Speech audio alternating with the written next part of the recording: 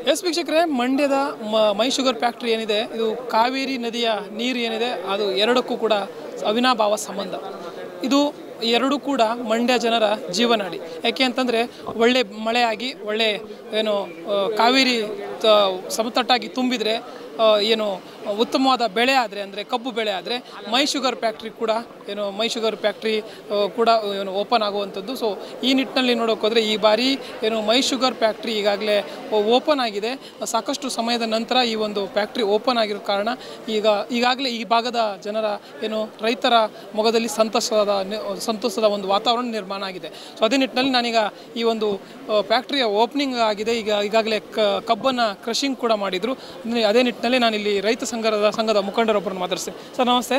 ಮೊದಲನೇದಾಗಿ ಏನು ಹೇಳಕ್ಕೆ ಬಯಸ್ತೀರಾ ಸರ್? ಮೈ ಶುಗರ್ ಫ್ಯಾಕ್ಟ್ರಿ ಏನು ಕಾವೇರಿ ನದಿಯ ಕಾವೇರಿ ನದಿ ಎಷ್ಟು ನಿಮಗೊಂದು ಭಾವನಾತ್ಮಕ ಸಂಬಂಧ ಇದೆಯೋ ಅದೇ ರೀತಿ ಮೈ ಶುಗರ್ ಫ್ಯಾಕ್ಟ್ರಿ ಕೂಡ.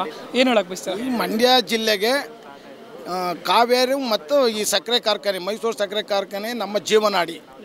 ಇದು ಜಿಲ್ಲೆಯ ಜನತೆಗೆ ಅನ್ನವನ್ನು ಕೊಡ್ತಕ್ಕಂಥ ಸಂಸ್ಥೆಗಳು. ಇವೆರಡೂ ನಮಗೆ ಭಾಳ ಭಾಳ ಮುಖ್ಯವಾಗಿ ಇರ್ತಕ್ಕಂಥ ಒಂದು ಸಂಸ್ಥೆಗಳು. ಈಗ ಪ್ರಾರಂಭ ಆಗ್ತಾ ಇದೆ ಇವತ್ತು ಮೈಸೂಗರು ತುಂಬ ಸಂತೋಷ. ಆದರೆ ಕಳೆದ ಸಾರಿ ಥರ ಇದು ಕುಂಟದ ಹೋಗಬಾರ್ದು. ಈ ಸರಿ ನೀರೂ ಸುದಾ ಇದೆ. ಸಫಿಷಿಯೆಂಟಾಗಿ ನೀರು ಆಗ್ತದೆ. ಕಬ್ಬು ಇದೆ. ಇಂಥ ಸಂದರ್ಭದಲ್ಲಿ ಆಡಳಿತ ಮಂಡಳಿ ಸರಿಯಾಗಿ ಕೆಲಸ ನಿರ್ವಹಿಸುತ್ತೆ ಆದರೆ ಈ ಫ್ಯಾಕ್ಟ್ರಿ ಚೆನ್ನಾಗಿಯೂ ನಡೀತದೆ.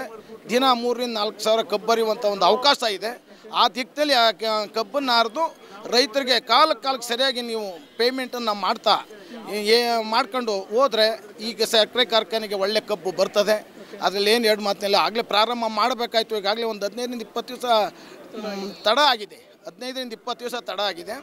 ಹಂಗಾಗಿ ಈಗ ಕಬ್ಬು ಒಳ್ಳೊಳ್ಳೆ ಕಬ್ಬು ಇರೋದ್ರಿಂದ ಬೇಗ ಪ್ರಾರಂಭ ಮಾಡಿ ಕಬ್ಬನ್ನು ನುರಿಸುವಂಥದ್ರಲ್ಲಿ ಆಡಳಿತ ಮಾಡಲಿಕ್ಕೆ ಕ್ರಮ ತಗೋಬೇಕು ಅಂತೇಳಿ ಈ ಸಂದರ್ಭದಲ್ಲಿ ನಾನು ಒತ್ತಾಯ ಮಾಡ್ತೀನಿ.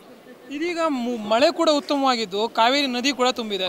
ಈ ಬಾರಿ ಏನು ಬೆಳೆ ಕೂಡ ಹೆಚ್ಚಾಗುವ ಆಗುವಂಥ ಚಾನ್ಸಸ್ ಇದೆ. ಯಾಕೆಂತಂದರೆ ಕಳೆದ ಬಾರಿ ನೋಡಿದ್ರೆ ಸ್ವಲ್ಪ ಏನು ಕೃಷಿಕರಿಗೆ ಏನು ಕಬ್ಬು ಬೆಳೆಗಾರರಿಗೆ ವಿಶೇಷವಾಗಿ ನೀರಿನ ಕೊರತೆ ಆಗಿತ್ತು ಸೊ ಈ ಬಾರಿ ಹೆಚ್ಚಾಗಿ ಕಬ್ಬು ಬೆಳೆಯುವಂಥ ಸಾಧ್ಯತೆ ಇದೆ. ಸೊ ಅದ್ರ ಬಗ್ಗೆ ಏನು ಹೇಳಿ ಈ ಸಾರಿ ಕನ್ನಂಬಾಡಿ ಕಟ್ಟೆ ತುಂಬಿರೋದ್ರಿಂದ ನಾವು ಪೂರ್ತಿ ಕಬ್ಬನ್ನು ನಾವು ಈ ಸಾರಿ ಬೇಸಾಯ ಮಾಡ್ಬೋದು. ಈ ಕಳೆದ ವರ್ಷ ಕಬ್ಬು ಎಲ್ಲ ನೆಟ್ಟಿದ್ರು, ಮತ್ತು ಭತ್ತ ನಾಟಿ ಮಾಡಿದ್ರು, ಎಲ್ಲ ಹೊರಟಾಯ್ತು.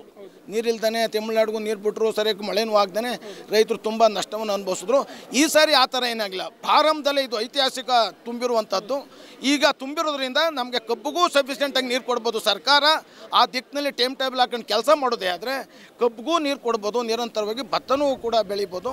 ಇವೆರಡಕ್ಕೂ ಕೂಡ ನೀರು ಆಗ್ತದೆ. ಅದನ್ನು ಸರ್ಕಾರ ಜಾಗೃತೆ ವಹಿಸಿ ಮಾಡಬೇಕಷ್ಟೇ.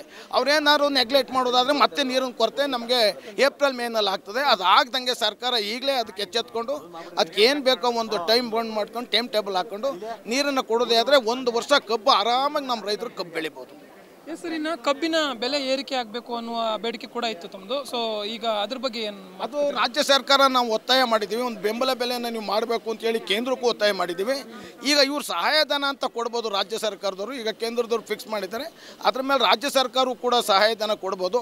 ಆ ದಿಕ್ಕಿನಲ್ಲಿ ಸಹಾಯಧನ ಕೊಟ್ಟು ರೈತರಿಗೆ ಒಂದು ಪ್ರೋತ್ಸಾಹ ನೀಡಬೇಕು ಅಂತೇಳಿ ಈ ಸಂದರ್ಭದಲ್ಲಿ ನಾವು ಸರ್ಕಾರವನ್ನು ಒತ್ತಾಯ ಮಾಡ್ತೀವಿ. ಥ್ಯಾಂಕ್ ಯು ಎಸ್ ವೀಕ್ಷಕರೇ, ಇದಿಷ್ಟು ಇವರ ಮಾತು, ಏನು ಇಲ್ಲಿನ ಮೈ ಶುಗರ್ ಫ್ಯಾಕ್ಟ್ರಿ ಓಪನ್ ಆಗಿದ್ದು, ಇಲ್ಲಿನ ರೈತರಿಗೆ ಇಲ್ಲಿನ ಜನರಿಗೆ ಬಹಳ ಸಂತಸವನ್ನು ಉಂಟು ಮಾಡಿದೆ ಅಂತಂದರೆ ತಪ್ಪಾಗಲಿಕ್ಕಿಲ್ಲ.